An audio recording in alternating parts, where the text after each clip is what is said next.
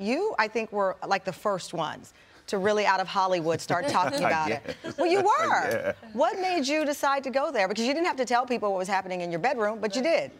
Or not happening. Eventually happening. Eventually happening, but not right away. oh, Lord. That's right. We had to wait.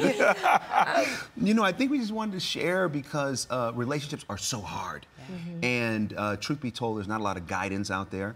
And so we wanted to share our truth and yeah. that waiting to have sex was a critical part of the healthy foundation of our marriage and relationship. And we both were doing it independently. You know, I had yeah. been doing it for years before Meagan and I got together uh, because, you know, being out in the world, speaking and preaching, telling one thing, there was a time when I was doing something different. Mm -hmm. And I wanted to reconcile who I was in public and in person and in private, excuse me. So that's why I decided to wait. Yeah. And I said, you know what? I'm going to wait until marriage after I wasn't waiting. And then Meagan and I got together and found out she had been waiting. Yeah. And Meagan, as I understand it, you've said in the past you knew this was your husband yeah. before he knew. Yeah.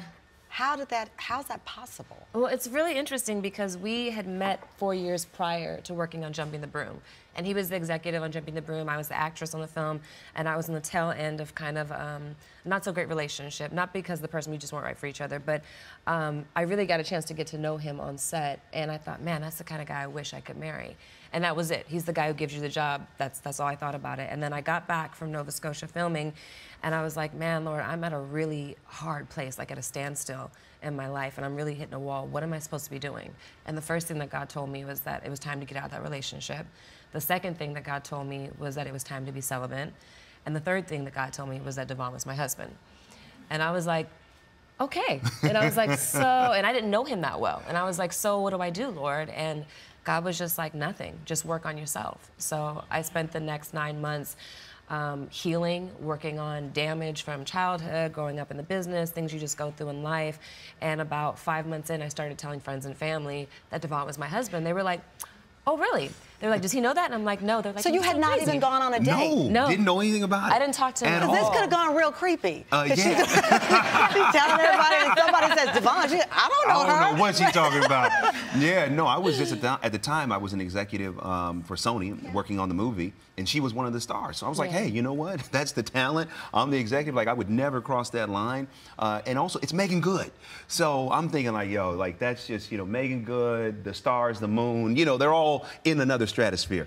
And so when it came to reality that, like, wait a minute, at the Jumping the Broom premiere, nine months after the movie was done, we started talking, and it felt like, wait, I think Meagan is interested in me. oh, meanwhile, I had told all my girlfriends I was like, yeah. meet my husband tonight, and everyone's like, okay, so we're following him around the party like teenage schoolgirls, like looking at him and stuff. And then we went out two weeks later, and then yeah. literally from the time of going out, it was 10 months later we were engaged, and two months later we were married. So yeah. over the span of what 13 months, you yes. were celibate in the relationship. Yes. Um, you make this pledge to each other, you make it to God, but we're all humans and our bodies react sure. to things. Absolutely. So did you avoid kissing? Did you, a massage was out of order? I mean, because th these things, I'm just being honest. Okay, Come we're on, all you getting all of it. Come on, Tamron. I mean, you know my husband. Yes, I do. Right, my, my husband, like, massaged my shoulder. I'm like, hey, you know, maybe not as often because we have a baby now, but hey, you know, but it's like, how did you avoid triggers? You know, it's one of the things we talk about, you know, in the book. We talk about the power of delayed gratification. Mm -hmm. We live in a time where everybody wants everything now, mm -hmm. but there's a lot of value when we just wait and sit back and say, you know what, I'm going to delay this because if I do, I'll get what I actually want when it's time for it.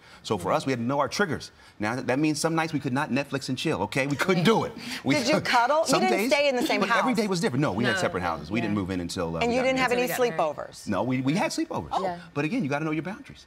You got to know your triggers. So pillow in the middle? Sometimes. Sometimes Really? It just depends. It just depends. Like depends on how strong you felt on that day. So some yeah. days I'd be weak, she'd be strong. Some days she'd be weak, I'd be strong. So yeah. it was both of us wanting the same thing, but being okay to let moment by moment dictate what we did in those moments.